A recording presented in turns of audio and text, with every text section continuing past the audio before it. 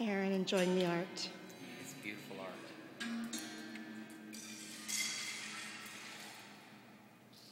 How do you think they make the rocks fall right in them, them cables? I think they must have done a lot of math. A lot of trigonometry.